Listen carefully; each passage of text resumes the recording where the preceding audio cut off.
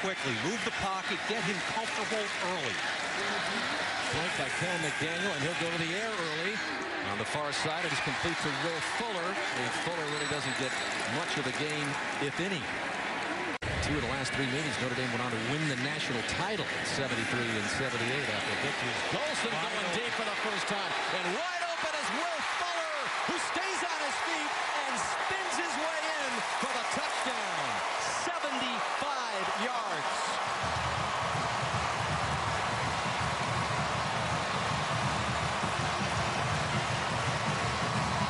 Notre Dame took advantage. You're going to see this time right down here and to the post. Julius White can't stay with him because of the play action fake. Great protection.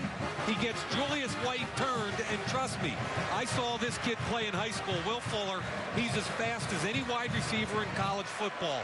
A year ago, six receptions for 160 yards. And he continues his big play and one of the questions I had, Dan, heading into this season is who's going to step up at wide receiver for the Irish? How about a demonstrative play by Will Fuller? In our conversation with another first and 10.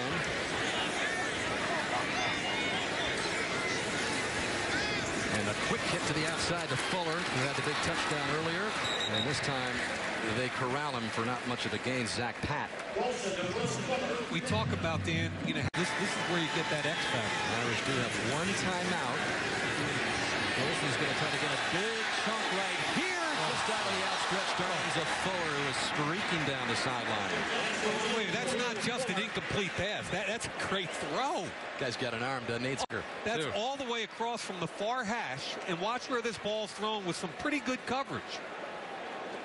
Fuller's got to do a better job of keeping that route inside to give a captain and Golson and Bryant learning below him. This is Fuller who had the big score earlier in the first half. Alex Lyons on the stop, but Fuller gains eight.